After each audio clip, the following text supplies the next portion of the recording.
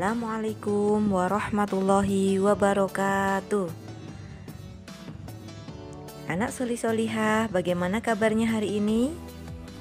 Semoga anak Soli Solihah beserta keluarga tercinta semuanya dalam keadaan sehat walafiat. Alhamdulillah, kita bersama lagi pada pembelajaran pendidikan agama Islam kelas 1 SD Hari ini kita akan belajar dengan materi kasih sayang. Sebelum memulai pembelajaran, mari kita berdoa bersama-sama dulu ya. A'udzu billahi minasyaitonir rajim.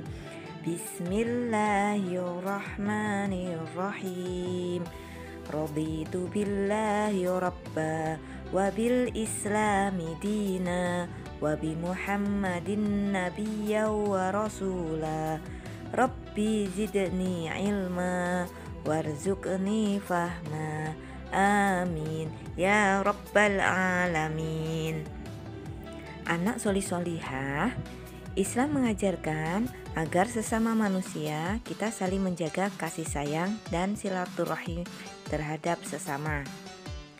Baik terhadap orang yang lebih dewasa atau yang lebih muda dari kita Perilaku kasih sayang harus ditunjukkan oleh orang Islam.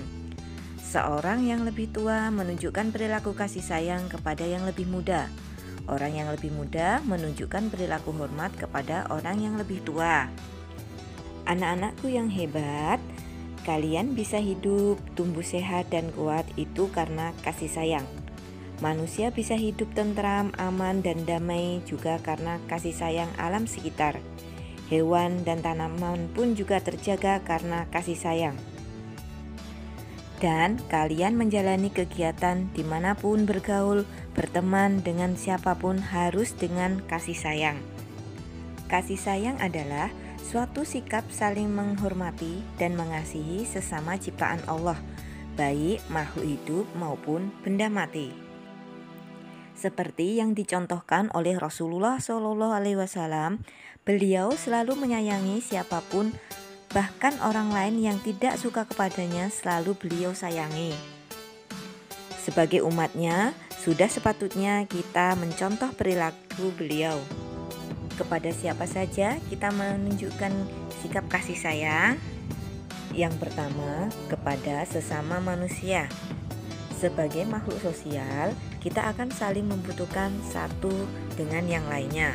Jadi, kita harus berperilaku kasih sayang kepada sesama manusia.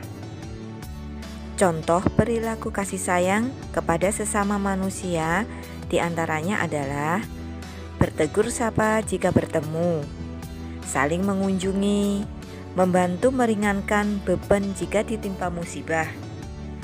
Yang kedua, kasih sayang kepada hewan.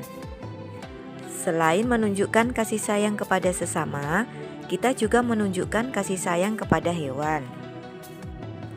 Contoh perilaku kasih sayang kepada hewan di antaranya adalah merawat dan memelihara dengan baik, memberi makan dan tempat tinggal, tidak mengganggu hewan tersebut. Yang ketiga, kasih sayang kepada tumbuhan.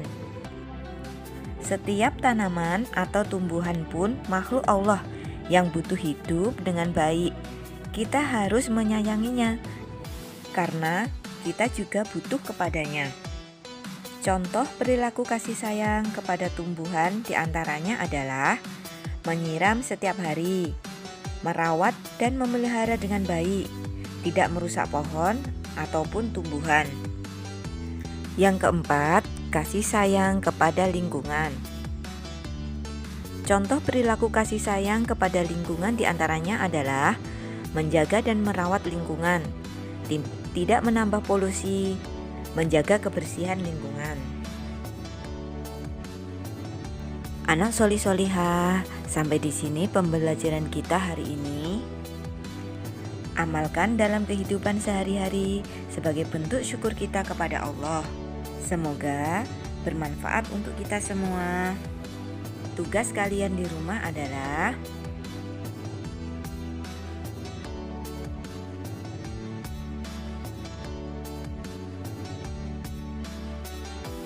Baik, kita akhiri dengan baca hamdalah bersama. Assalamualaikum warahmatullahi wabarakatuh.